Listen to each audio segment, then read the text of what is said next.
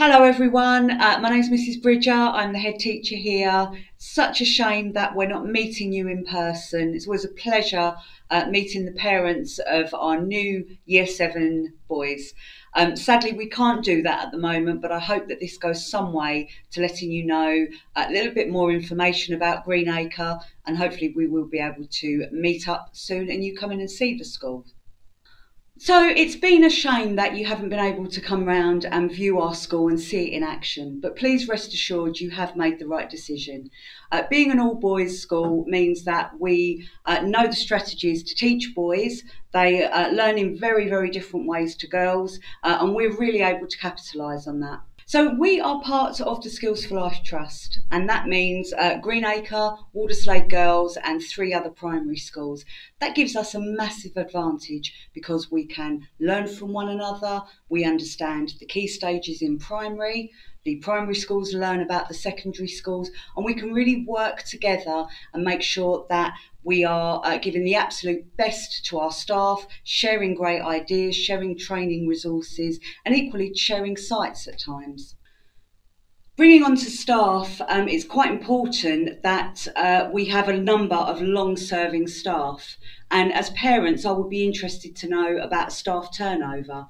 Boys generally don't like change, and whilst we of course get staff move around, generally our staff have been with us for some time, as well as bringing in new members of staff every year, whilst being a, teacher training school.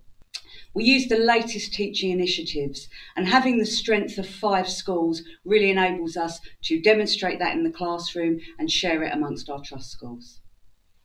In terms of the curriculum, we offer a really broad engaging and balanced curriculum. It's really important that we move with the times, that if something's not working for our boys, we change it.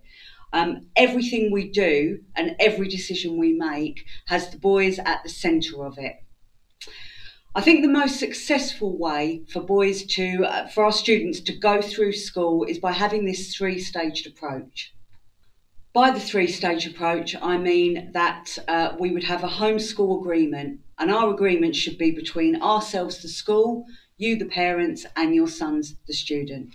And it's really, really important that your son recognises there are simple rules that we expect him to follow.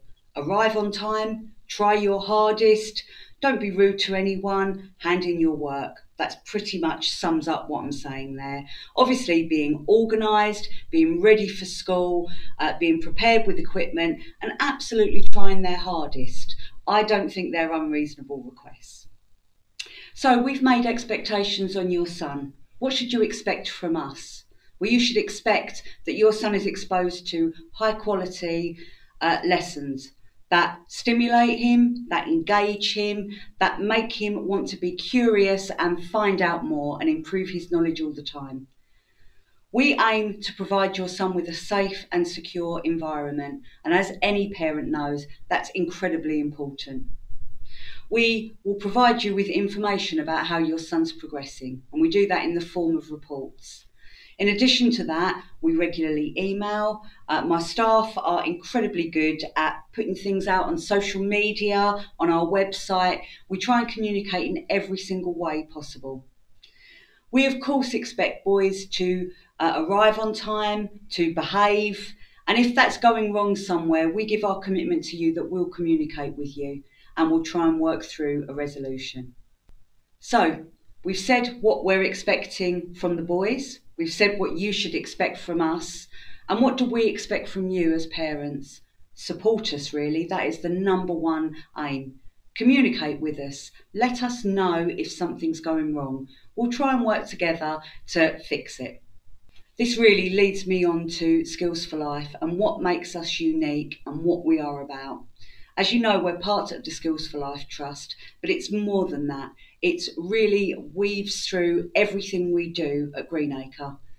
We take our Skills for Life values really, really seriously. And as you will see, the acronym Employ Me, which is written up on the screen now, weaves through everything that we do. We focus on different skills for life, but more than anything, for parents, I wanted to explain. The vision is that we want our young people ready for the world of work. We want them leaving us armed with the right skills. And we sat down many years ago and thought, how can we uh, help our boys to be the most employable? And we sat and considered various skills. Actually, if our boys can maintain eye contact, if they can hold a good conversation, if they can be quite self sufficient, if they can have patience and listen, really listen, they have good manners, and I'm sure as parents that's something that you've taught them to, to do and we'll continue that. If they're organised, if they try hard, if they communicate effectively, if they're able to maintain that eye contact in that first interview when they leave us, it will put them on a much brighter path to getting great employment in the future. And that's what we want for all of our boys, and that's what makes us unique. It's been an absolute pleasure just telling you a little bit about the school. I can't wait to meet your sons and I can't wait to meet you later on in the year. Take care. Thank you. Hello, I'm Mrs Campbell. I'm the Deputy Head Teacher here at Greenacre Academy and I'm also Head of Pastoral, which means that I'm responsible for attendance, punctuality and behaviour here at Greenacre Academy. What that means for your son is on a day to day basis, he'll probably see me in the corridors um, discussing with them all about Employ Me, our skills for life values, and how that can really contribute to fantastic conduct in and around school and the local community. The first thing I'd like to talk to you about today is your son's uniform in September. Now, many of you may have already been to the uniform shop and seen what our uniform looks like. You may also have purchased some of that uniform on Parent Pay, but I just wanted to clarify what that uniform um, is. So um, what we have here is a wonderful picture of one of our Year 11 leavers, um, styling his fantastic uniform. It is indeed a black blazer with a Greenacre logo on it. Um, it is a Greenacre Academy school tie, and that tie will be used from Year 7 all the way through to the end of Year 10. A white shirt, a pair of black trousers, and black hard soled shoes. Now, at Greenacre Academy, from our parent pay and main reception, you can buy iron on badges for blazers. You can purchase the um, Greenacre Academy tie, and you can also buy aprons that will be required in DT. The rest of the uniform can either be purchased from a um, uniform shop, um, school time, or you can buy it from local outlets such as Asda and Tesco's because it is just plain white shirt, plain black trousers and hard-soled shoes.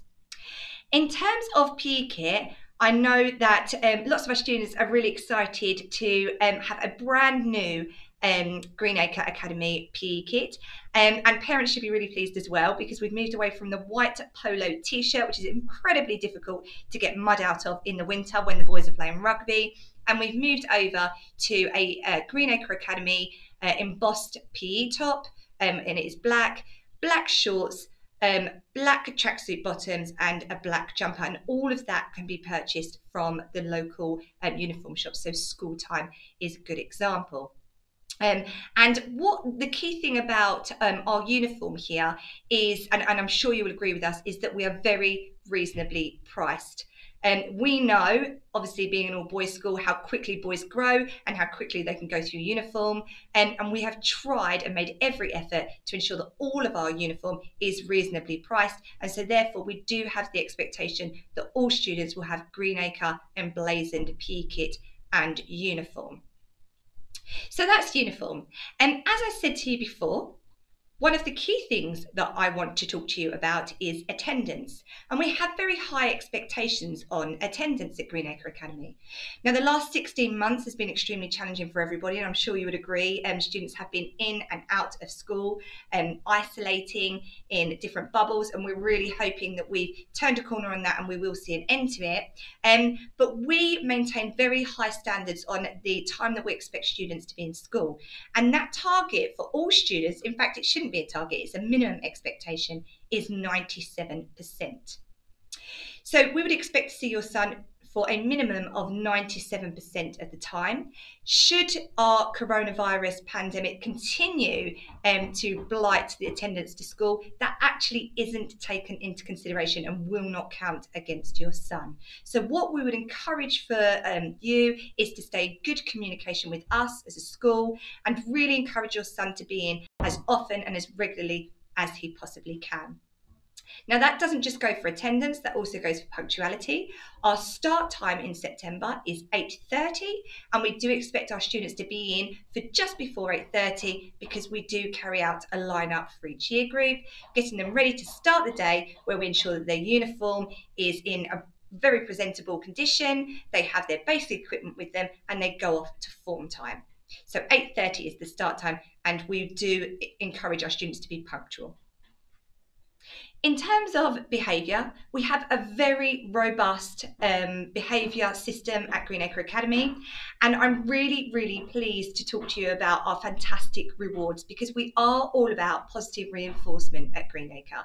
So we'll reward your son for um, fantastic attendance, for demonstrating the skills for life values. So we really do encourage excellence in everything they do, great listening skills, organisation, fantastic manners, in and outside of the community. And when we see those things taking place, we do reward them. And that can go from anything from um, stationery, sweets, day trips out, um, whole year group rewards with inflatables coming onto site. Um, the rewards uh, side of our pastoral system is just absolutely fantastic, and it's something that all of our students really, really enjoy. We couple that with our sanction system, and it is important that we encourage um, good skills for life behaviors. So, as I said, those listening skills, those organization, organization skills.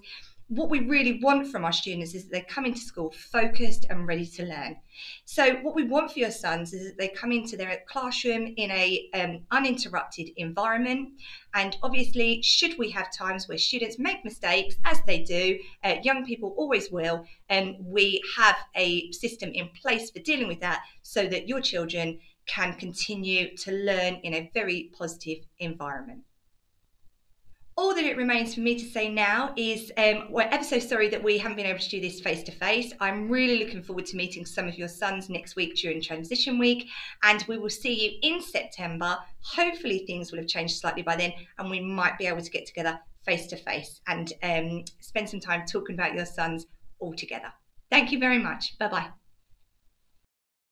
Hello, my name is Mrs Bennett and I am the Raising Standards Lead for Key Stage 3. I'm also one of the assistant head teachers here at Greenacre Academy.